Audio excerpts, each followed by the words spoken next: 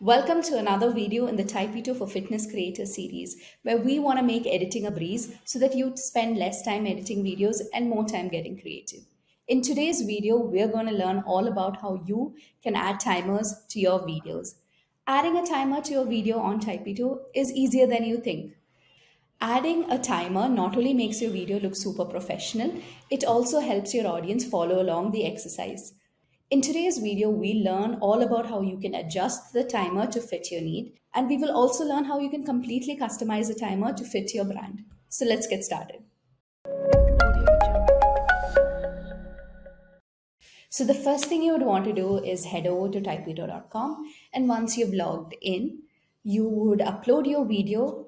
I've already done that to save us some time. And the next thing you would want to do is head over to the element shelf. Now, once you've done that, you can see timers are right here. We would click view all to see all the timers that Typito has to offer. So there are a couple of different types of timers. One, some of the timers have text with the timers and some are just plain and simple timers that are animated differently. When you see something you like, all you need to do is click to add it to the timeline. And this is where Typito is super powerful. You can completely customize the timer to fit you and your brand so this would mean you can change the color, the font, the position, the size. To style the timer, all you need to do is click it and then you'll see the multiple options that you can do. So let's start off by changing the color of the timer. So I kind of want to change this color to make it a little more brighter.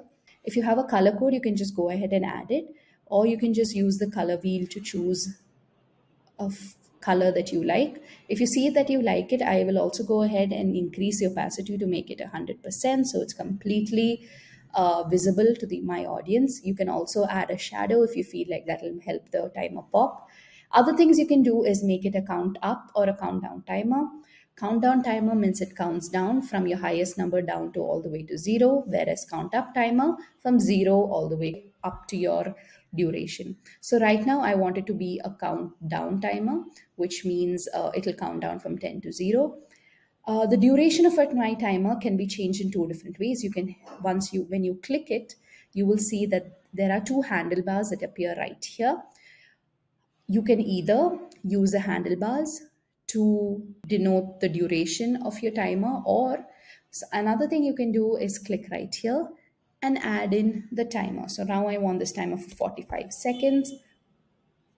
So now what I'm going to do is click right here and then let's just zoom into the timeline so I can see where exactly I want to position it. I want to position it right about all the way to the end from the start to the beginning. Another really fun addition to your timer is the beep sound, which is when it counts down three, two, one, you will hear beeping that lets your audience know that this set is coming to an end. So now you can choose at what point do you want the beeping to start. You can start it in the last five seconds, or you can just have it in the last one second. So I'm going to keep it for the last three seconds. And now let's just quickly take a look at how our timer looks in the video.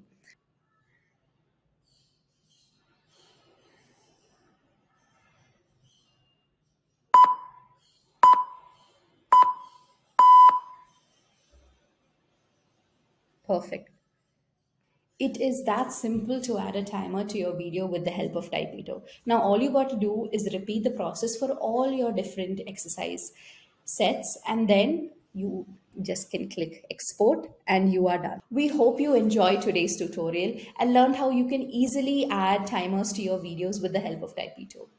If you like this video, don't forget to subscribe to our channel because we have a lot more videos coming for fitness creators like you. Thank you so much for watching. See you next time. Bye.